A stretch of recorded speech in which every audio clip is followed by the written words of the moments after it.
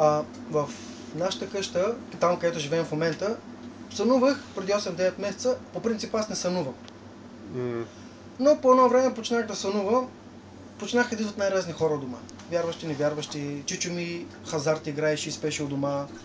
И почнах да сънувам много разни сънища, ма се такива ганни сънища. Направо си, меко казано и леко казано, или как да кажа, твърдо казано, демонични Мгм. си сънувах. И жена ми тя почна да ги сънува. Малкият го слушам от време на време през нощта, прави а той не плаче малкият. Никогаш не е плакал през нощта. Викам, не. Тук викам, има нещо. Веднага усетих. И след 4-5 дена, може би една седмица казано, слушам една твоя проповед. И ти в, нали, проповядваш, проповядваш, проповядваш и накрая на тази проповед казваш сега, ако нямаш масло у вас, вземи олио, помоли се на това олио и започни да помазваш вратите, прозорците, скъртинга, абсолютно всичко. Може би се сещаш коя е тази проповед. Да, горе-долу се сещам. Абсолютно всичко започва да помазваш. В момента, който аз взех олиото в, ръчи, в ръката ми е така и почнах да се моля, аз получих в момента, аз получих освобождение. В този момент аз почнах да плача, почнах да усещам една лекота, едно превъзходно нещо, което не искам да излизам от това присъствие. Не исках да излизам от това присъствие, исках вечно да съм там. И в момента, който аз почнах да помазвам тези неща, от, тази, от този ден нататък до сега и вярвам, че и за напред, никой не е сънувал лоши се неща Слава. в нашия дом.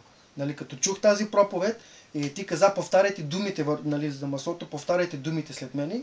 И аз повторих думите, направих го всичко с вяра, нали, защото аз слушах цялата проповед и направо влезнах в проповедта като че ли. Все едно бях там при тебе. Не беше като че ли на, на телефона. И то от телефона слушах проповедта. Помолих се на маслото, както ти каза, повторих твоите думи, продължих да се моля и в тази молитва аз получих освобождение. Като почнах всички прозорци кишетата, ти казваш чак кишетата на прозорците. Мгм. Ти така каза. А, на вратата, горе-долу, долу, скъртингите, леглата, Скъртинг, какво е това? а, перваза.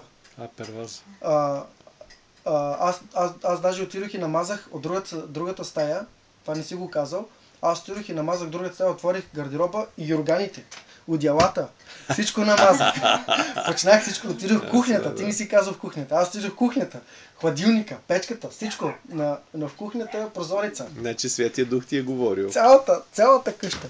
Почнах одялата, чорапите, дрехите, почнах само е така всичко, всичко. И плача и мажи, плача и мажа, плача и мажа и получих освобождение. И И целият дом се освободи. целият дом и край, Като изход 12 глава, като помазаха там така с, ли? с кръвта, ами да, те ставам обаче А, с да. кръвта на агнето. Да, а, да, да. Благодаря. Бъди благословен. Значи Господ е разчупил това проклятие и тия демони, де са били там. Да, много. Виж ли, помазанието на Святия Дух Жена ми се разрушава. през, нощ, през нощта. Аз какъв гаден сън имах. Много отвратителен. Демонически направо. Искаха да ме атакуват демонически. Как направих това нещо? Край. Нали, той беше само то, то сън. Не искам даже да го разказвам, да го казвам. И как го направих това нещо, както, както ти каза, точно така го направих и после почнах и от дела, и органи, и чаршаф и всичко наред почнах. Цялата къща. Край. Слава на Бога. Слава на. Господа. Слава на Господа. Чудесно. Да.